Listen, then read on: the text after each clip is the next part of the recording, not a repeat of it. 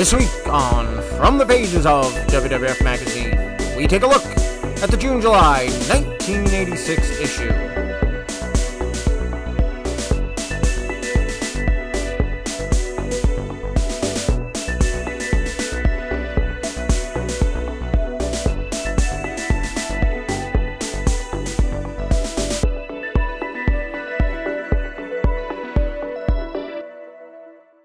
Hey guys, welcome to From the Pages of WWF Magazine. I am Anthony. This is Collectors Entertainment Network.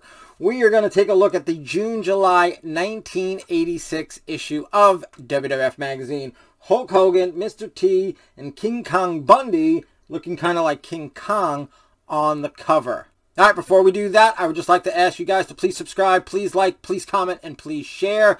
And I'd love to have you back to keep on watching more. All right, let's get into the issue. Alright guys, June, July 1986. Now, the aftermath of WrestleMania 2. You got Hogan, you've got Mr. T, and you've got King Kong Bundy on the cover. Signs of the Times, sign language of WWF fans.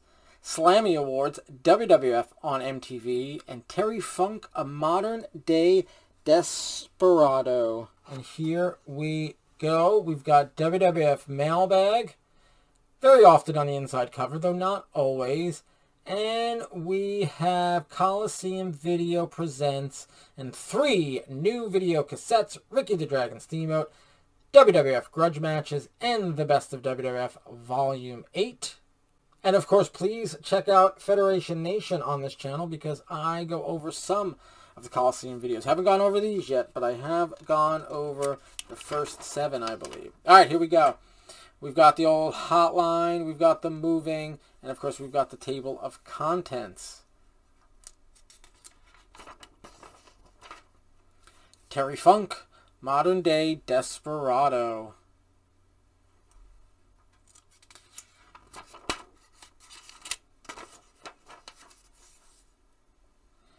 There's Jimmy Hart and Terry Funk. Looks like they're camping.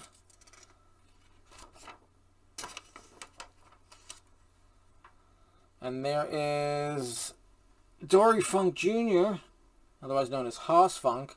Here is something you don't see very often, a non-WWF advertisement in WWF Magazine.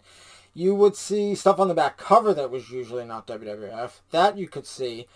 You would see, obviously, WWF advertisements, whether it's for the magazines, whether it's for LJN stuff, whether it's for any of the other merchandise, but you didn't usually see a non-WWF item being advertised.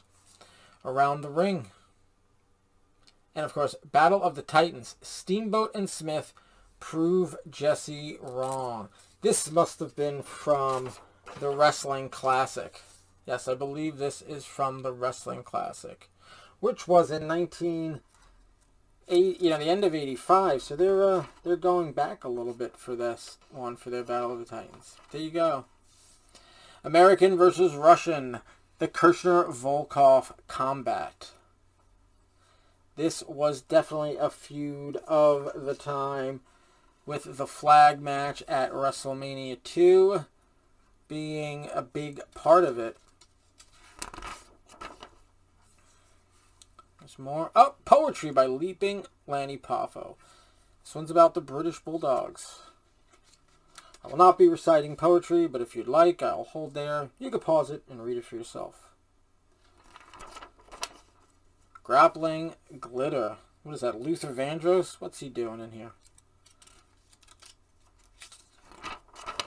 And Foreign Affairs. Still a constant in WWF Magazine, these foreign affairs articles. The True Lou comes through, Madman or Genius, the new book from the WWF, The Wit and Wisdom of Lou Albano. I want to get my hands on that. I do not have it currently. Oh, Savage holds the Intercontinental Belt. He snagged it. Can he keep it? This is from June, July, so this is probably just a you know, and that probably came out in probably came out in May or so. So he had had it for about three months at that time. But they're showing you the night he got it from Santana when he took something out of his trunks and uh, hit Santana in the head with it. That was in the Boston Gardens. There he is after the match with Elizabeth as the new IC champ. And Santana on the ground. And look who the referee is. Danny Davis. Although I don't think he had anything that... He wasn't in the storyline yet. They sort of retconned that, that he had something to do with it. He was still just a regular ref at that point. New WWF Mighty Man, Ted Arcidi. Got his LJN. Didn't even know who he was when I got it, but I was, you know, he was so quick in and out. I barely remember him. Oh, and look, another non-WWF ad. Here it's Weight Watchers. Up, oh, the uh, piece is coming away from the uh, staple. That's not good. Ah, uh, there you go. WrestleMania 2, the official story. You've got all your re recap and uh, wrap-up stuff. Look at Piper with his Epsom salts after a boxing match with Mr. T at the Nassau Coliseum, which took place only about 20 minutes away from where I grew up, the Nassau Coliseum. Yep, there, New York. That was the Nassau Coliseum.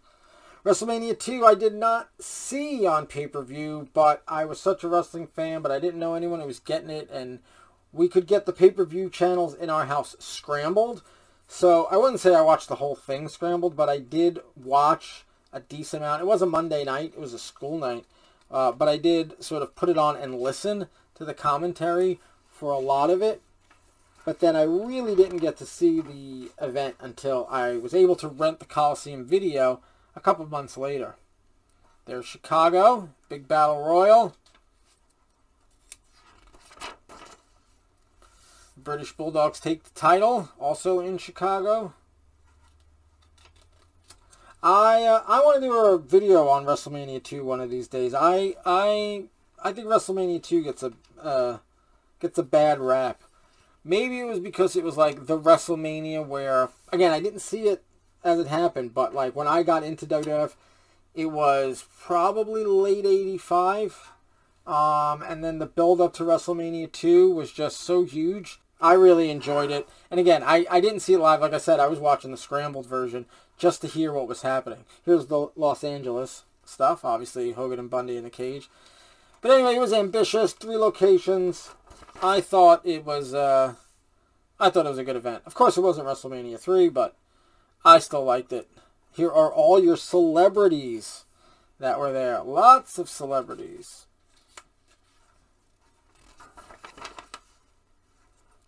Best and worst of the this month we featured Dirtiest Tricks. And again, another non-WWF ad. I don't know if this was just a sign of the times, because there wasn't that many before, and I don't think there's that many later, but there is some in this issue. WWF Slammy Awards, bringing the house down. I do remember this being on, I think it was on MTV, the Slammy Awards. I remember, I think, uh, I don't know if I saw it as it aired or my friend of mine just recorded it and I watched it, you know, a day or so later. I don't remember, because I do remember watching it at my friend's house. I don't remember if we were watching it live, if he recorded it and we watched it, or what it, what situation was, but I do remember that. Staying fit. Wasn't the last one with Greg the Hammer Valentine? Maybe this is his uh, own thing. It's all about staying fit, like Greg the Hammer Valentine. WWF interview a talk with Jimmy Hart. Pretty sure this is all fake, you never know.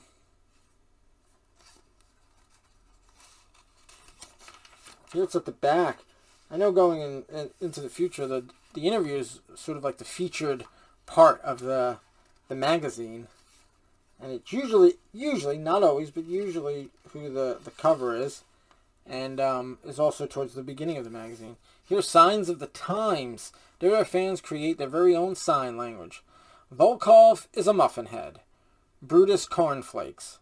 The Hammer Valentine. Miss Iran 85. Iron Geek. First runner-up, Roddy Piper. That's pretty funny stuff. All right. Here's some more. Beware of the dog is pretty much... I mean, that's a, just a general sign that I think you can get. Hulk Let's Bag Piper. Hulk is number one. Well, some other ones. Genomania. Is that for Mean Gene or for uh, Monsoon? And even more signs.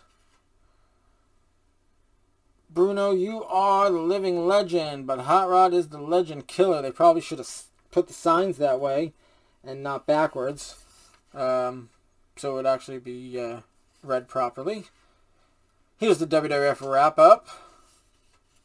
Hulk Hogan's Real American. That is probably, where am I? Probably when he was shooting the video for that. And there's more of the wrap-up and the back inside cover. With all that great stuff that I wish I had all of. And the back cover with the LJNs. Alright, that is June, July 1986.